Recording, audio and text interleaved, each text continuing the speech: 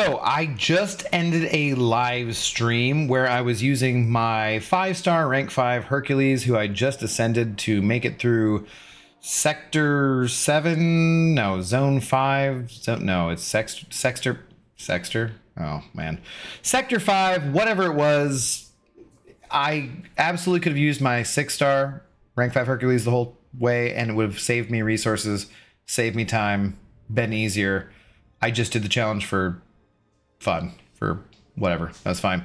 What I didn't tell anyone on the live stream was I knew that at the end of it, I would actually have enough shards for my next seven star crystal, and I didn't open it on the live stream. I've been opening my seven star crystals on live streams lately, and uh, I just for fun wanted to like do it secretly this way and make a separate video out of it. So what we're going to do before I open this is we're going to go over here and we're going to look at my seven star champions that I currently have.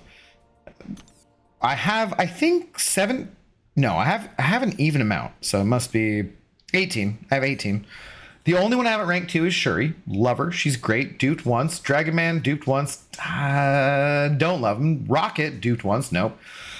Ebony Maw, eh, Wiccan. I would love to dupe my Wiccan. I think I would take him to rank two if I duped him. I'm tempted to take him up unawakened, actually, just because he's a really good champion. I just kind of want that extra utility against Korg, you know, with the shock stuff. Everybody else, like Gamora's fine, Gorr's cool. Bishop, I think, is going to be my next rank two. I just got enough tier six class catalyst to rank him up. I don't think anything else is going to change out of the basic crystal here if I open it maybe if I awaken Wiccan, maybe if I pull an America Chavez, that'll be good. Maybe Sunspot I would consider doing over Bishop. But otherwise, probably this isn't going to change what my next rank up is going to be. Level up is currently on. And so probably I'm just going to take Bishop to rank 2 here. But there are a number of champions who I would like to get for first time. A lot of the science champions, Hulk, even though I have a rank 5 Hulk already as a six star. Titania would be great. Joe Fixit's awesome. Overseer, eh, it's okay. Uh, there's lots of different champions who I would love to get. I would love someone new for the most part. Mantis would be great. Any anybody besides Hawkeye, kind of. Or somebody I already have. Somebody new would be great. Dupe on Bishop wouldn't be terrible. Mantis? Okay, well, you know what?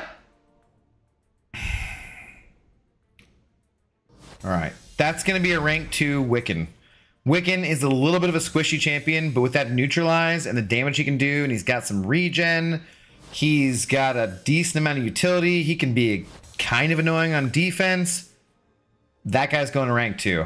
So now I got to decide for this level up event if I'm going to do a rank 2 Wiccan or a rank 2 Bishop. That's a win. That's a win. Honestly, I've been I've been I've been hoping for that for quite a while. Wiccan is now awakened, guys and girls. We'll take it. That's a win. Beautiful. I'll catch you guys in the next video. We'll see how I rank up. Cheers.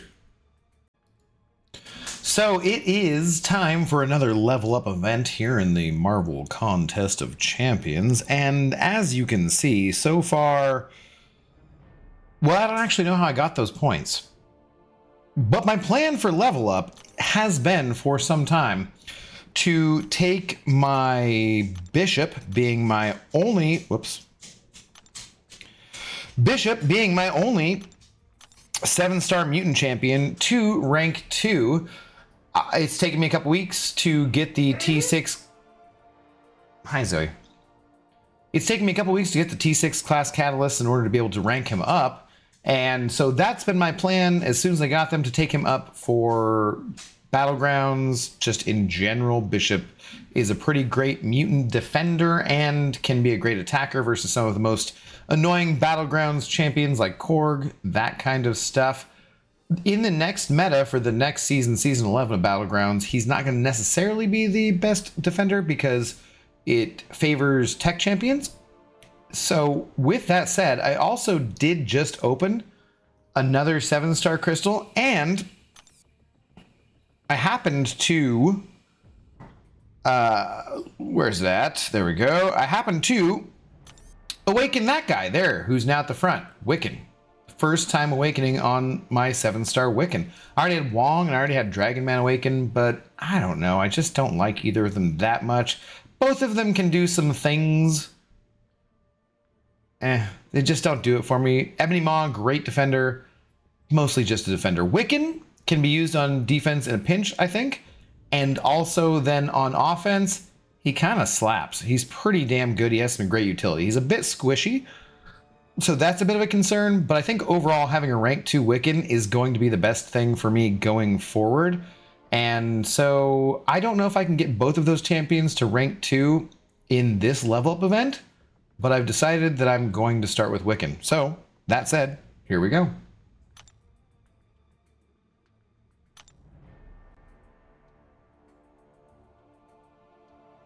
Million gold right there.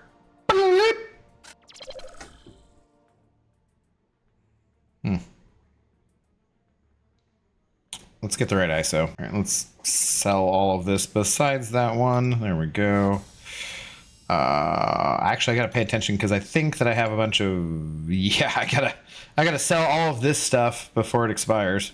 But in the meantime, I think I have plenty of yeah this. Let's go for the top dogs. Let's go for the seventeen point five. Wow, I got more of it to use. That's not bad. That's not bad. Go back to that Wiccan. Oop, there he's there he's at already. And uh oh god, wow. Don't even need all two parts of it.